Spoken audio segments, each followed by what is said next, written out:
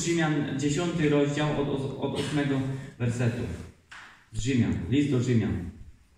Halleluja. Takie słowo mnie doszło ostatnio, żeby to jest słowo takie na czasie. List do Rzymian, 10 rozdział od 8 do 13 wersetu. Ale co powiada Pismo? Blisko Ciebie jest słowo, w ustach Twoich i w sercu Twoim, to znaczy słowo wiary, które głosimy. Bo jeśli ustami swoimi wyznasz, że Jezus jest Panem i uwierzysz w sercu swoim, że Bóg wzbudził Go z martwych, zbawionym będziesz. Albowiem sercem wierzy się ku usprawiedliwieniu, a ustami wyznaje się ku zbawieniu.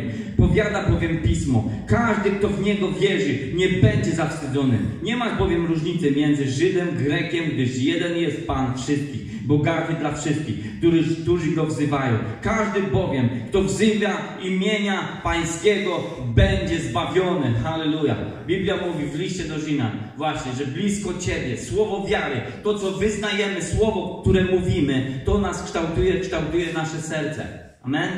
To, co my wypowiadamy, to, co my na co dzień, szczególnie w tych dzisiejszych czasach. Ludzie dzisiaj wypowiadają i ludzie chorują, tak? Bo media nakręcają, stwarzają rzeczy. Yy, okoliczności, wszystko stwarza rzeczy. Amen? Rozumiecie? I ludzie opowiadają, mówią i dlatego ludzie chorują. Bo wypowiadają słowa, wypowiadają rzeczy i to się dzieje. I blisko Ciebie jest słowo. I to, co słowo, które my wypowiadamy, słowo wiary, to, co, to, to słowo może być słowo wiary, które buduje wiarę negatywną, niewiarę, tak? A drugie słowo, które buduje wiarę pozytywną. Słowo wiarę Bożą. Amen? I to, to jest słowo, blisko nas, blisko to, co wypowiadamy, to, co my wypuszczamy z, naszego, z naszych ust. To buduje nasze serce. A nasze serce to jest taką bazą, to jest jednostką taką. Biblia mówi Wiozłego 1,9 Niechaj nie oddała się księga tego zakonu od Twoich ust.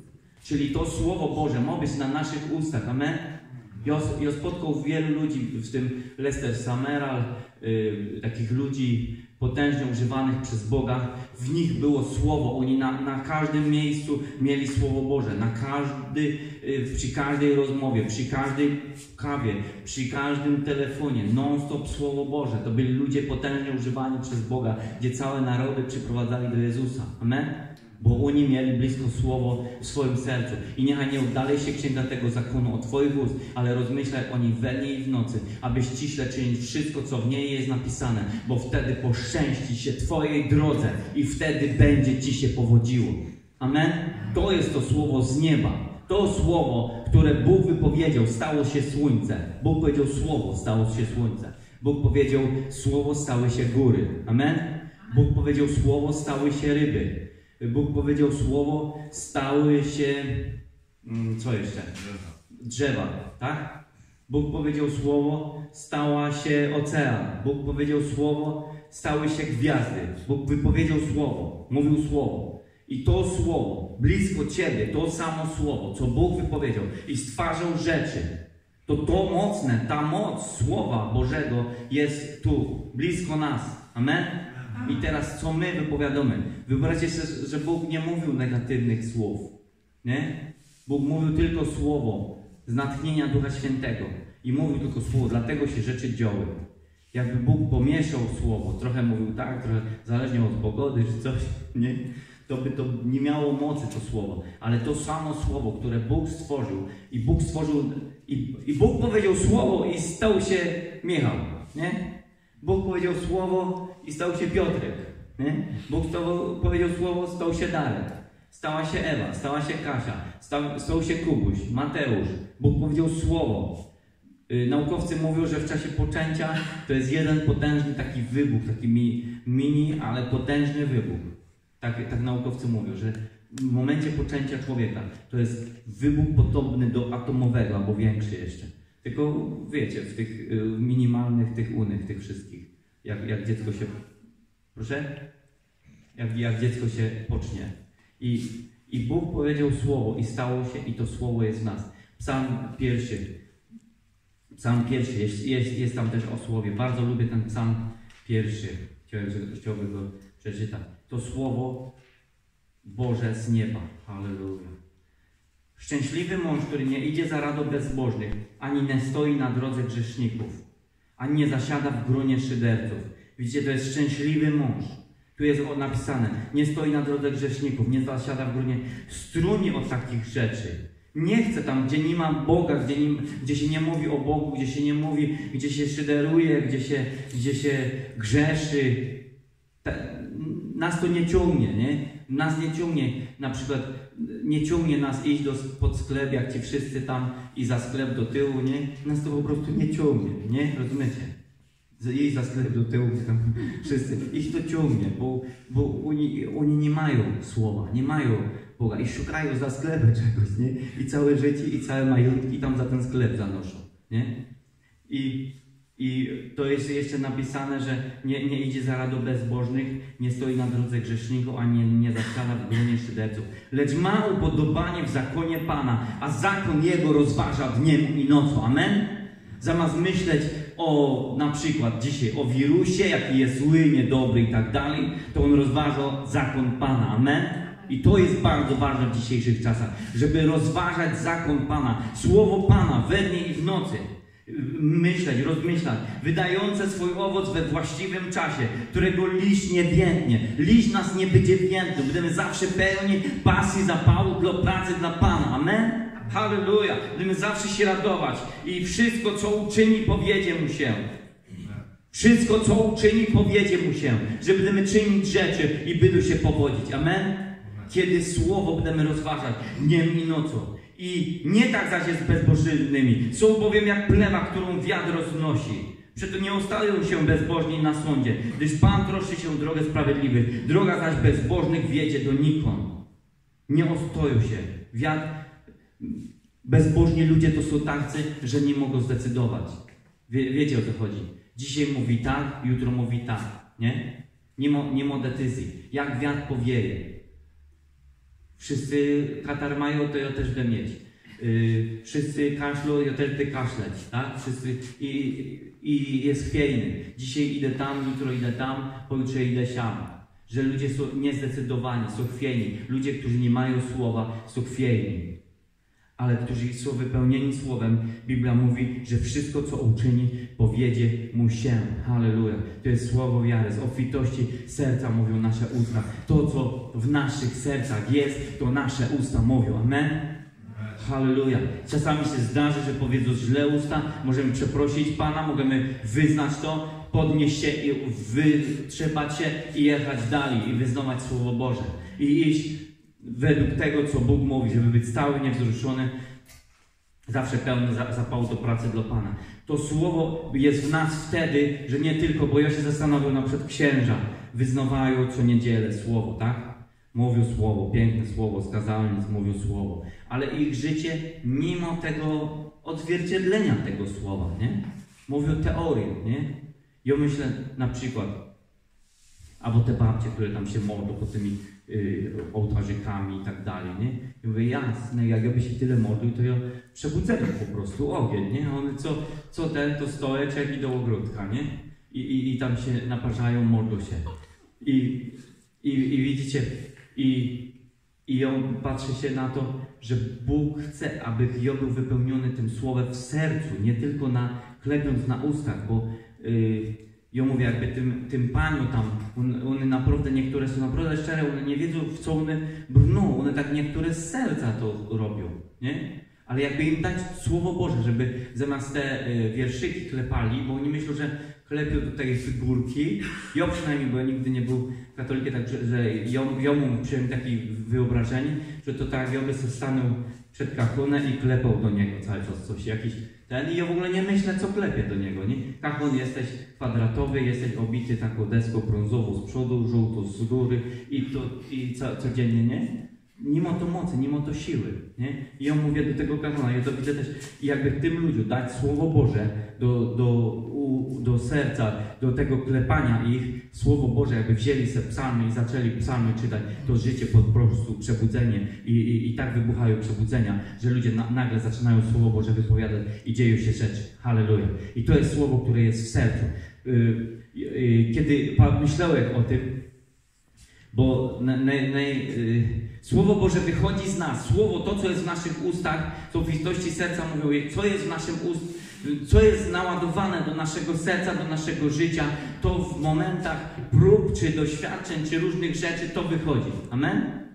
Jeśli jest Słowo Boże, jeśli jesteśmy napełnieni Słowem Bożym, to to wychodzi. Kiedy przychodzą próby, doświadczenia, choroby, to mówię, nie umrę, ale będę żył i zwiestował dzieła Pana. Nie jestem z tych, którzy się cofają i giną, ale z tych, którzy biegną i zachowują duszę, zachowują wiarę. I to jest to słowo, które jest napakowane. Tak jak jest y, komandos, wyobraźmy sobie komandosa, że on y, trenuje. To jest jakby on trenował, czytał Słowo Boże, nie? Ładował Słowo Boże, y, on jest tym magazynem, komandos y, zdecydował, że będzie komandosem, że będzie, wiecie, jak Rambo, pojedzie tam, wyzwoli ten naród, tamten naród, to wyzwoli tamto i on ładuje, chodzi, to nie ma taki komandos, że ogląda od rana do wieczora y, telewizor o komandosach, nie?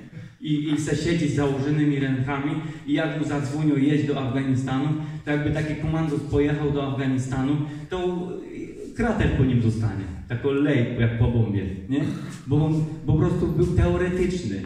Ale komandos, który chodzi teraz mnie też zapraszali do takich te wojsko terytorialne i tak dalej. Tam się chodzi, ćwiczy, y, tam chodzą na całe weekendy ludzie, od rana do wieczora w okopach, tam im puszczają jakieś tam y, bomby, jakieś nie wiadomo co, u nich są wyćwiczeni ci ludzie, wyszkoleni i wtedy, kiedy telefon będzie, on ma, wie co ubrać, jakie ubranie, jakie zbroje, wszystko, bo on jest wyćwiczony, wyszkolony i jak jest czas próby, czas walki, wojny, on jedzie i zwycięża. Amen?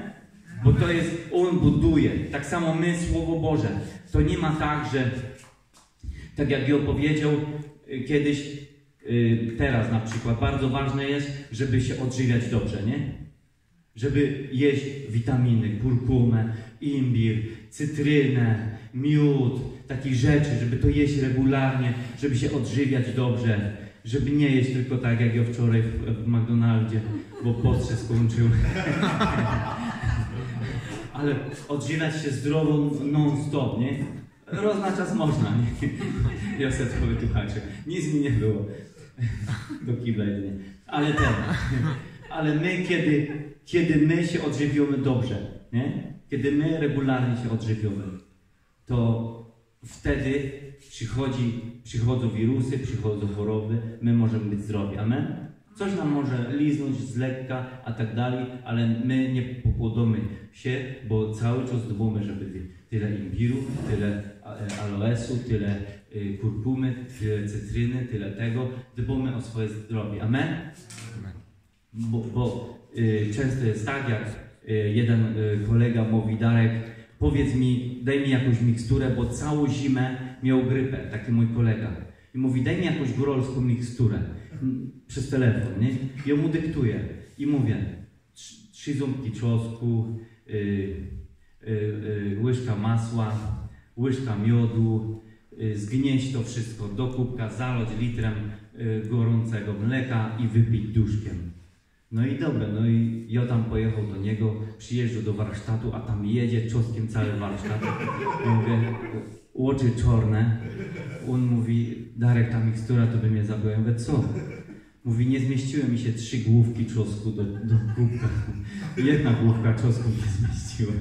I, ja mówię, jest tak często, że tak jak ludzie, ludzie, ludzie chcą życia, chcą, chcą, ale oni by chcieli naród być wielką dawką, nie? Nagle, tak jak ludzie w samolocie, jak samolot ode, od, odleci w samolocie silnik, to nagle wszyscy się modlą w tym samolocie. Zauważyliście w te filmy, nie? Wszyscy, Boże ratuj, Boże ratuj, nie? I to jest często za późno.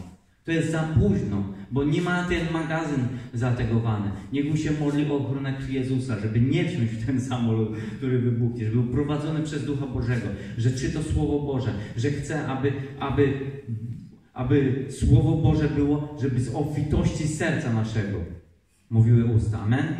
To, co my wypowiadamy, to, co jest w nas, to wypowiadamy.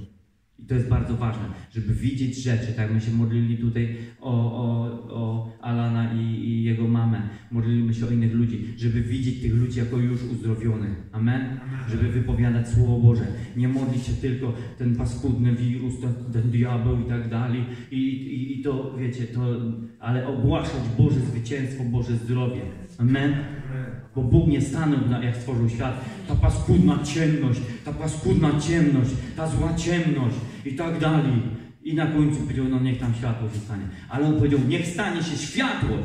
Niech stanie się życie. Amen. Niech Jezus, kiedy przychodził, y, wieźli córeczkę, nieśli córeczkę martwo, mówił, czemu płaczecie?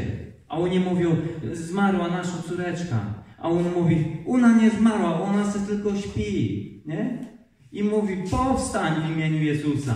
On, nie, on po prostu zgromił, zgromił w jednej chwili y, tę śmierć, powiedział, powstań w imieniu Jezusa. Mówił życie, my mówimy życie, my mówimy zdrowie w imieniu Jezusa, my mówimy Bożą światłość, my mówimy góry, my, my, my mówimy y, rzeki, my mówimy powodzenie, błogosławieństwo, my mówimy namaszczenie, my mówimy Bożą obecność, Boże Słowo, my to po prostu mówimy, amen? Amen. Bo możemy, wiecie, mówić straszno chorobsko, wielkie chorobsko, demony, nie demony i tak dalej. I to, to nas wciąga. Ale my mamy ogłaszać Boże Słowo. Amen? Bo blisko Ciebie i mnie jest Słowo Boże. I to mnie dzisiaj rano przyszło właśnie, żeby być przygotowany, żeby wiedzieć, co mówić. Ja znam takiego gościa, potężnego gościa, miał ponad dwa metry, chłop. On, on za, za, w starym życiu, on za flaszkę, dawali mu flaszkę, to on szedł do innej wsi na zabawę i całą wieś mówili mu, słuchaj, nie lubimy tamtej wsi.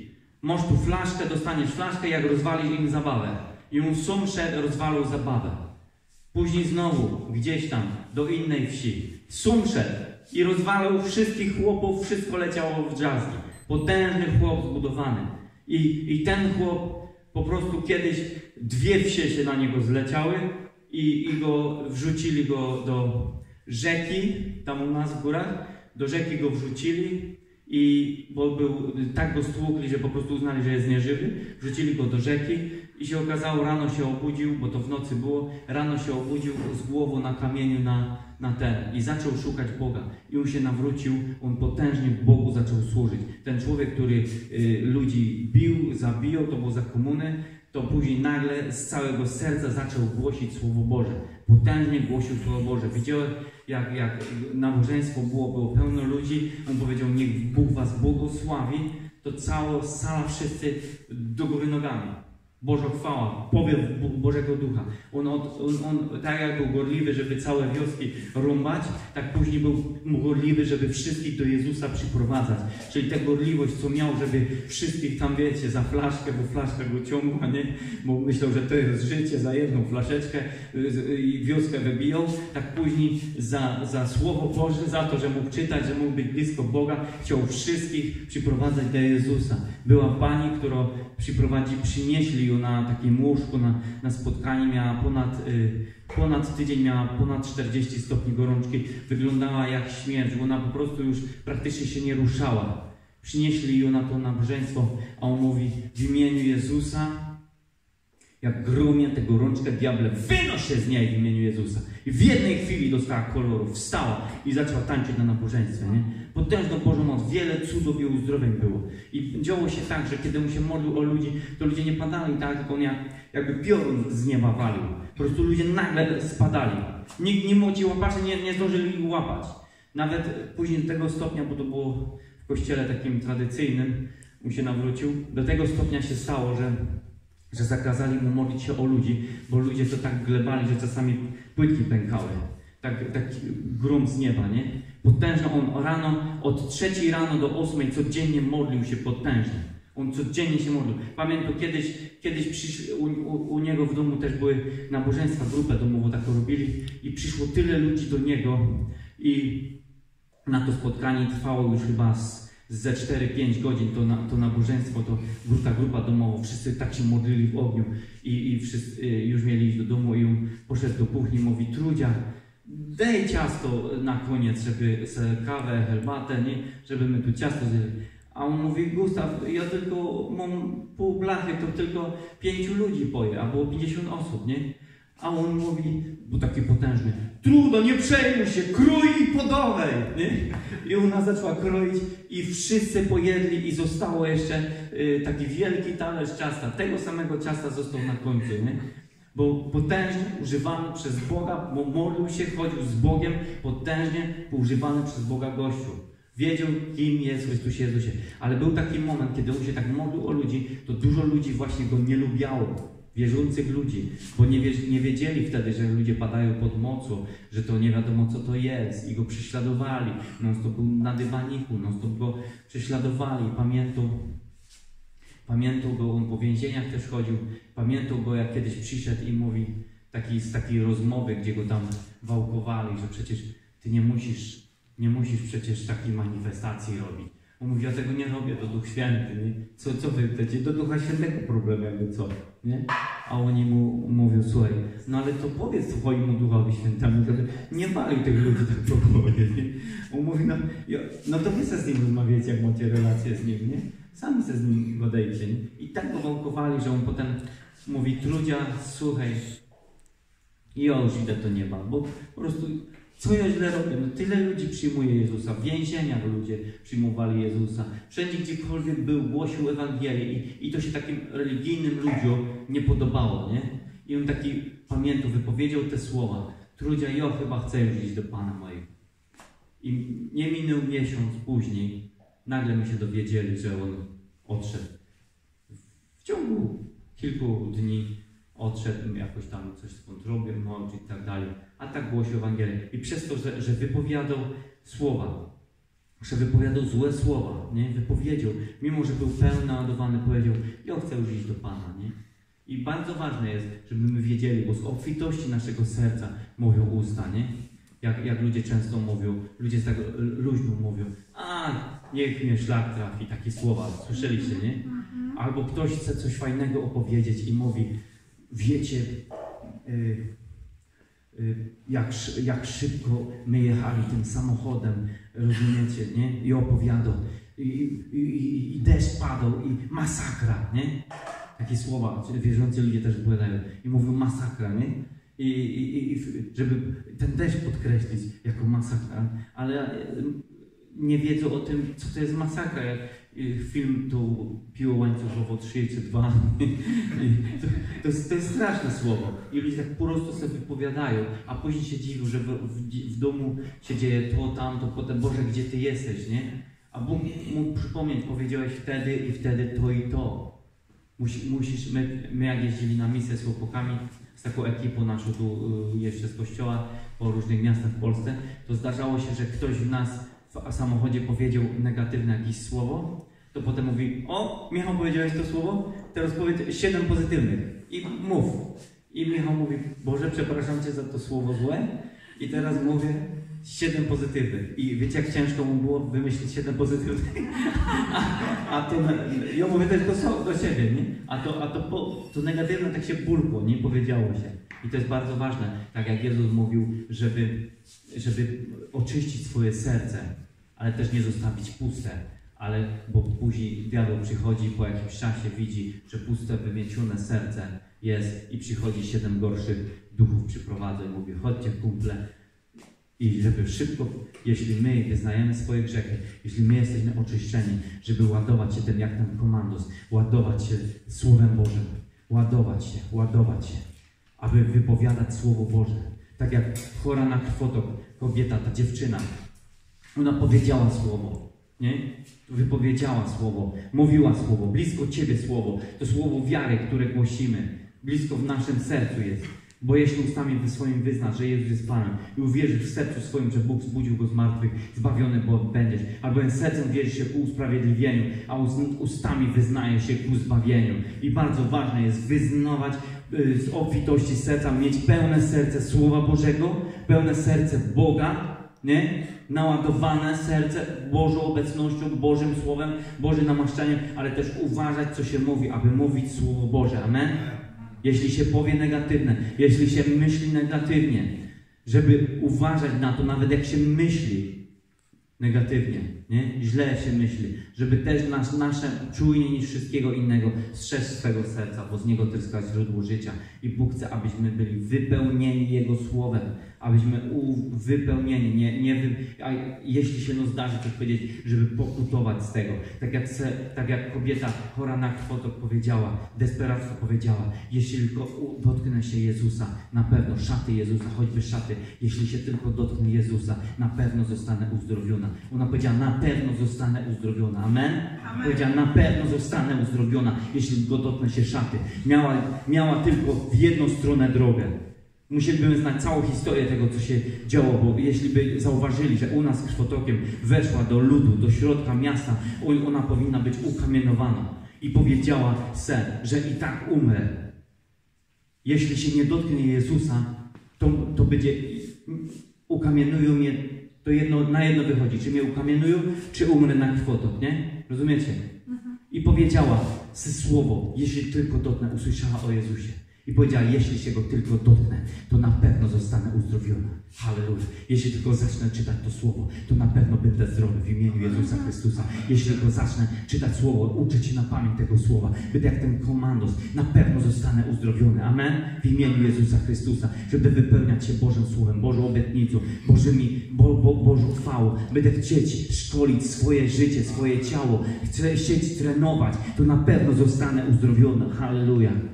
Możemy zostawić, y, tak jak ona, zdecydować, że idziemy za Jezusem na maksa, halleluja, za Bogiem na maksa, bez względu, czy się to komu podoba, czy nie. Ja chcę iść za Jezusem, amen, halleluja.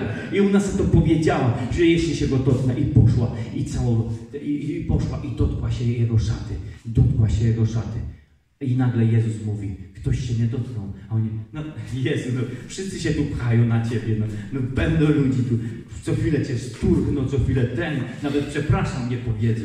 A on, no, on powiedział, ktoś tu mnie się dotknął.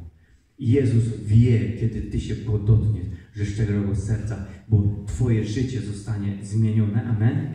Po pierwsze, i on będzie czuł, bo możemy też wszyscy szturchać się. Tak, ja jestem wierzący, tak, ja wierzący, ja wierzący, ja wierzący, rozumiecie? Wszyscy wierzący dzisiaj są. Nie? Rozumiecie? A jak przychodzi choroba, nagle wszyscy, wiecie, mówią, o ile chory, ile tego, powtarzają telewizję, co w telewizji mówią i tak dalej, nie? Ja już nie mam ponad miesiąc, nie mamy telewizora. Jesteśmy szczęśliwi, halleluja. Aż się go nie chce zakładać na nowo. Halleluja. Bóg jest dobry. I Bóg chce tak jak ślepy Barteusz wołał, nie? On zdecydował się. Blisko Ciebie jest Słowo. Jeśli kto wyzna, tu jest napisane na koniec, każdy bowiem, kto wzywa imienia Pańskiego, zbawiony będzie, halleluja. I ten Bartymeusz usłyszał, ślepy całe życie, ślepy żebrak, Bartymeusz był ślepy żebrak, żebrał pod, pod drzwiami, pod kościołem, żebrał codziennie i, i, i usłyszał, że Jezus idzie i słyszał, że Jezus uzdrawiał i słyszał, że ta dziewczyna się dotkła i została uzdrowiona. Słyszał o, o tym, że ta dziewczynka została skrzeszoną i on usłyszał o tym i powiedział, tak Jezus idzie, zawołał, Jezu! Jezusie, Syn Na- Nazareński, zmiłuj się nade mną. A oni go uciszyli, chłopie, ty se żebrałeś, żebraj se tam po cichu dalej, byj po cichu, tu teraz nie ma czasu, bądź po cichu. Uspokój się. Tam se żebrałeś, całe życie byłeś żebrokę, to se byj żebrokę. Tak by powiedzieli, nie? Całe życie se żyłeś, sz- szarą myszką byłeś, nic nie widziałeś, dobrze, że nie widziałeś, bo niektóre rzeczy się takie dzieją, że dobrze, jak nie widzisz, to lepiej sobie tam siedź? I tam se ży- żyj według starego życia, a on mówi nie.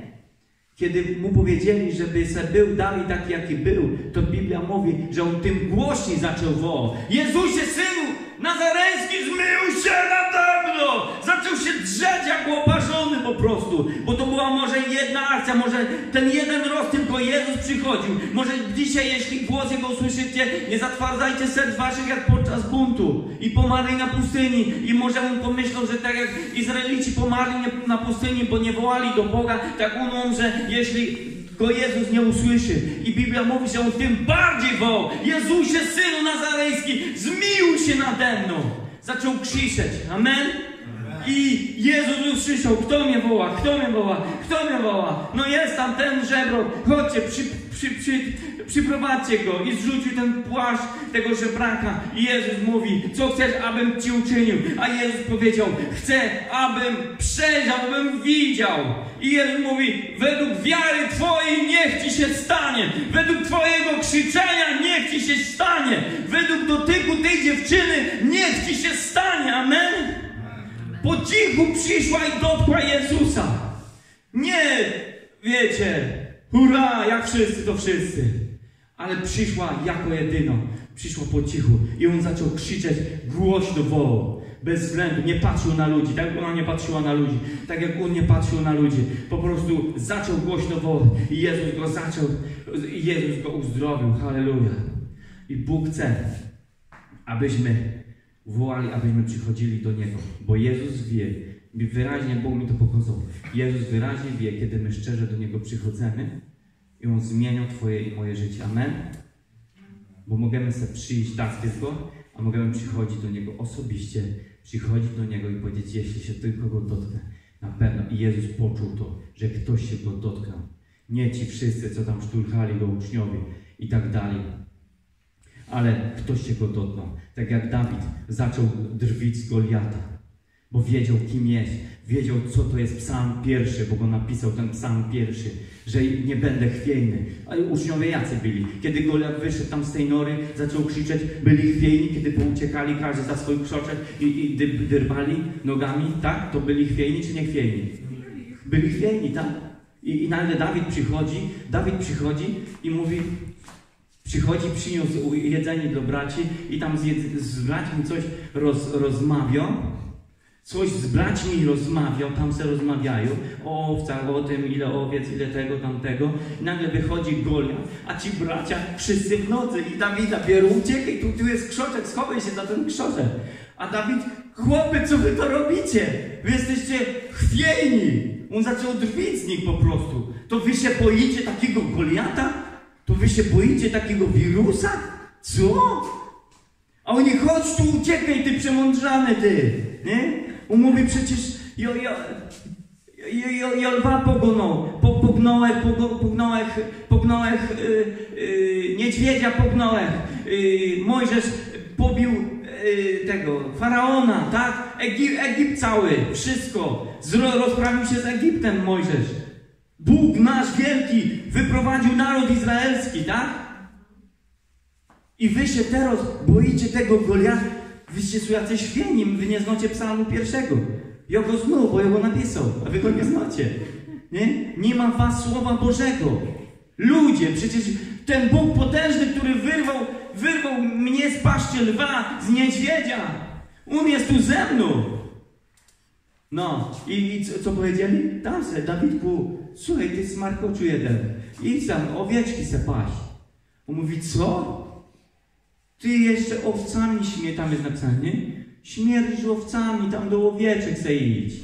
Tak go drwili. On już był namaszczony wtedy, nie? A oni śmiali się z niego.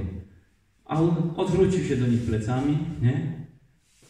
Do swoich braci, starszych braci, odwrócił się plecami. Co pycha? Oj, oj, oj, Dawidku. My tu tatusiowi powiemy w domu wszystko. Odwrócił się plecami do starszych braci i do innych żołnierzy. Mówi, co wy się boicie takiego, takiego Goliacika? Co wy się go boicie? Wypowiedział słowami. Ustami powiedział to, co było w jego sercu. Obfitość Boga, namaszczenie Boga, pasja do Boga, pasja do Jezusa Chrystusa była tak potężna, że mówi, ludzie, przecież cyk, cyk, pyk, i o takiego niedźwiedzia większego i niedźwiedź ma 800 kilo gdzieś, nie? Yy, czy lwa, lew, lew też ma około 800 kilo, to jest jak, jak, yy, jak 12 mnie. jeden niedźwiedź. I, a Dawid jeszcze, albo 12 Dawidów takich, nie? I mówi, takiego niedźwiedzia se to tego lwa nie. Ludzie, przecież Bóg jest we mnie, Jezus jest we mnie, Bóg Wszechmogący jest we mnie, w Tobie, w Was, narodzie, czemu uciekacie za te krzoki? Szkoda tych krzoków, takie fajne jałowce, a wy ich podeptacie wszystkie. Nie? Potrzebujecie być odważni. Musicie, aby Słowo Boże było w Was. aby Słowo Boże było w was, amen. Abyśmy byli przepełnieni Słowem Bożym, wypływające, wytryskujące ku życiu wiecznemu. I tam później Dawid po, pogonił. I, i, I Bóg nie chce, abyśmy byli chwiejni. Amen. Nie wiadomo co i jak, bo na, te chwie, na tej chwiejności diabeł grasuje. Na, na naszej chwiejności diabeł se robi pożywkę. Tak? Tak jak ja często mówię, Bóg nie może więcej w naszym życiu zrobić na tyle, na ile mu pozwolimy, ani diabeł nie może więcej w naszym życiu zrobić na tyle, na ile mu po- pozwolimy. Bo my w naszym umyśle stwarzamy rzeczy, naszą drogę. I nie ma tak, że, że my. To, to, to, nie, to nie ma tak, że później Boże, gdzie Ty jesteś, Boże, gdzie Ty jesteś, czemu taki. Yy, bo bym mógł powiedzieć tak. Wyobraźcie sobie, Boże, gdzie Ty jesteś? Czemu w mojej rodzinie taka tragedia, nie? Czemu w, moj, w moim domu taka choroba? Czemu to, tamto? A Bóg mówi, a pamiętasz jak powiedziałeś słowo masakra? A powiedziałeś mnie, a pamiętasz jak mówiłeś, niech mnie szlak trafi? A, a, a pamiętasz jak powiedziałeś, yy, a nie chce mi się żyć, nie? I teraz choruję. Bóg by mógł to powiedzieć, nie? Bo to ludzie sioli. A to co człowiek sieje, jeśli to jest tak, jeśli Bóg i diabeł mają konewki. Wyobraźmy sobie. Posiejemy dobre nasiono, błogosławieństwo, powodzenie, błogosławieństwo, przebudzenie. Tak my się dzisiaj modlimy. Zdrowie, błogosławieństwo, uwolnienie. To Bóg leje konewko i podlewo. Bo my ziarenka takie dobre, takie marcheweczki siejemy, nie? I, i, i, tam, I tam pod lewo Pan Bóg pod lewo i błogosławi i cieszy się. I, I Jezus się cieszy, bo my dotknęli Jego szaty. Rozumiecie? I On to wie, że my dotknęli Jego szaty. I On pod lewo, koneweczku pod lewo te nasionka. Nie? Jedno nabożeństwie siejemy fajne nasionka elegancko. Nie? Ale mogę iść do domu, nie? I ktoś tam coś powie, nie? I opowiada tam ktoś sam, a my mu chcemy tak powiedzieć, no masakra, nie? I widzimy, jak diabeł z konoweczką idzie i podlewa te gorczyce, taką, te, te wiecie, te złe nasiona, te, te pleby, te pokrzywe, czy nie wiem, co tam jeszcze. Pokrzywa jest zdrowa, ale nie wiem, jak się nazywają złe nasiona. I, i diabeł podlewa te, te. I później, I później w naszym życiu albo chwasty są wyższe, albo dobre nasiona są y, wyższe. Rozumiecie? Bo kiedy my podlewamy Słowo Boże w naszym życiu, to te dobre nasiona są podlewane. I Bóg leci z koneweczką i podlewa, i witaminki, wiecie, i ładne kwiatuszki rosną, i, i arbuzy, i dynie, i, i, i wszystko rośnie pięknie, tak? A jeśli siejemy złe rzeczy, to czarny leci z koneweczką, on jeszcze ma tak, tych sługów i tam oni leją wtedy gnojówkę, wszystko, nie? Wiecie. I Bóg chce, abyśmy my siali dobre rzeczy w naszym życiu, abyśmy uważali to, co mówimy dzisiaj w dzisiejszych czasach, abyśmy się pilnowali, abyśmy strzegli swojego serca, bo to z obfitości naszego serca mówią usta. Halleluja. I, I tak jak ludzie, mój tata w- w latach 80. jeździł do Rumunii, kiedy tam Czałczewsko lu- mordował ludzi, tam były, ludzie się zgromadzali w jakichś e, wielkich magazynach, to wiózł tam dary wtedy, bo tam on tam masowe mordy robił, tam ludzie wierzący, ludzie nie tylko wierzący, ale wszyscy wołali do Boga wtedy, pamiętam te czasy. I, i pytał się, wie- wieźli takimi wielkimi ciężarówkami, wieźli do Rumunii, wieźli dary swoje. I się pytał, a jak my tam trafiamy do kościoła, gdzie mamy zawieźć te dary? A on, oni mu mówili wtedy, starczy, że wjedziesz do Oradei, do miasta, do stolicy, wyłączycie silnik i będziecie wiedzieć, gdzie jest kościół, bo tam e, tysiące ludzi woło do Boga, tam trzęsie się ziemia. I po prostu pojechali i kiedy tam przyjeżdżali, tam tysiące ludzi było w jakichś takich dołach wielkich i wołali do Boga, żeby Bóg ich wyratował. I wymodlili to wtedy i wtedy przyszła wolność, wtedy tam tego Czałczeskę załatwili i tak dalej. Tak samo jak było w Korei. Y, y, Korea to prawie prawie 100% był buddyzm, chrześcijaństwo było prześladowane, ale tam zaczęli się ludzie modlić. Potężnie zaczęli się modlić. Y, ludzi wierzących nazywali chrześcijanami, wrzeszczącymi chrześcijanami. Y, tak jak u nas jest 0,02% wierzących w Polsce, tak tam jest w tej chwili, był buddyzm 100%. W tej chwili jest ponad 30% wierzących, 30% nowonarodzonych, mówiących innymi językami wierzących ludzi. Ale ludzie, którzy się modlili, nazywali wierzących tam nazywali wrzeszczących chrześcijan, że ludzie wiedzieli, kim są, kim, że Bóg jest w ich sercach, że Bóg jest wszechmogący. Halleluja. I wołali do Boga we dnie i w nocy. Moim marzeniem jest, żeby Kościół wołał do Boga we dnie i w nocy. Wołał do Boga, tak jak ten ślepy Bartemeusz, wołał do Boga. Ludzie, ludzie nie chcą wołać do Boga, ludzie wolą takie spokojne chrześcijaństwo, rozumiecie?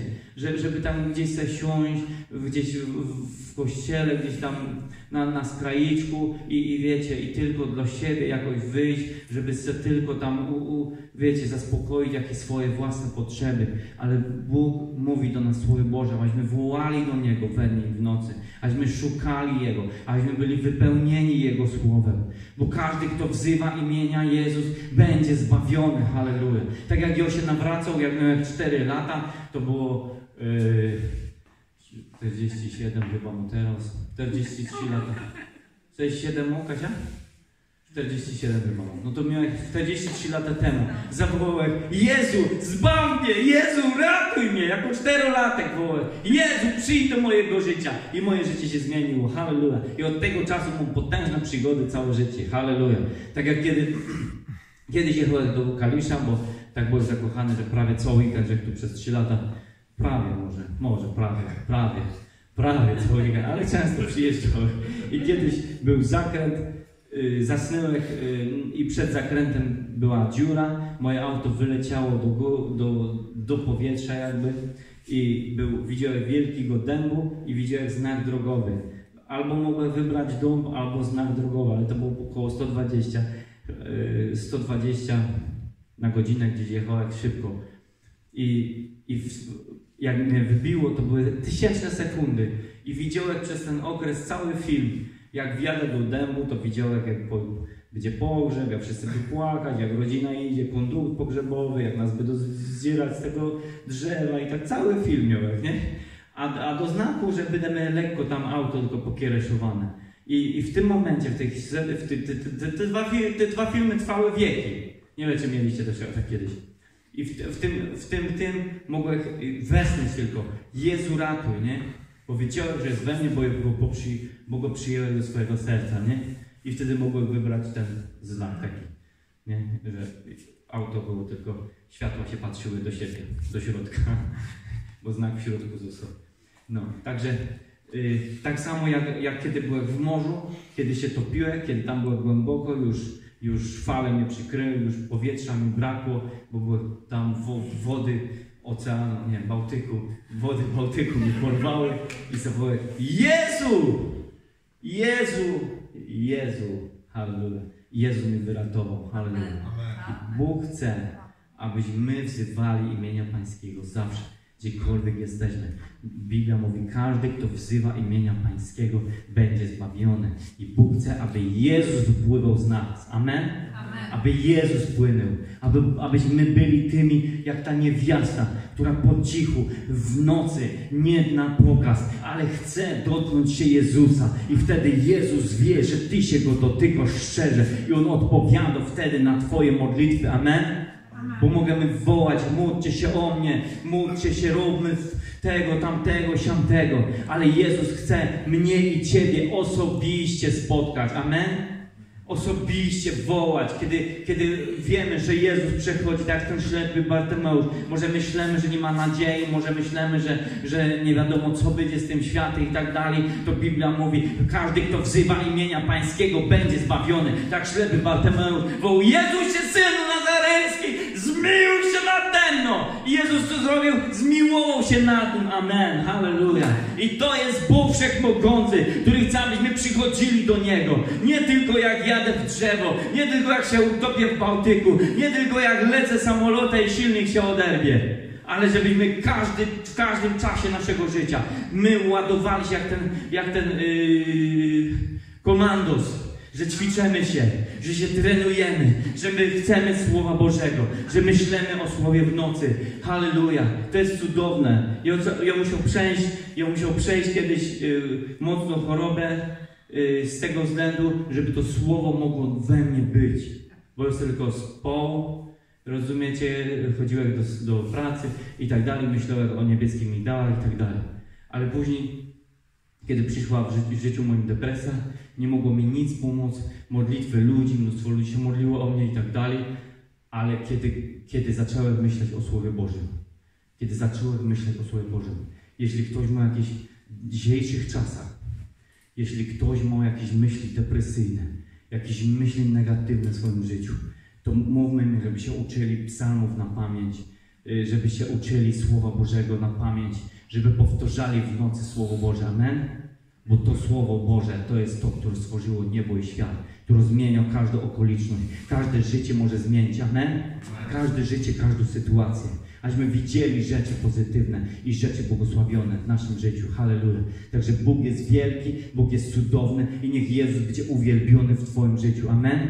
W Twoim, moim życiu. Żeby Jezus był uwielbiony. Amen? Amen. Halleluja. Bóg jest wielki. Halleluja. Dzięki Ci Jezus. Halleluja.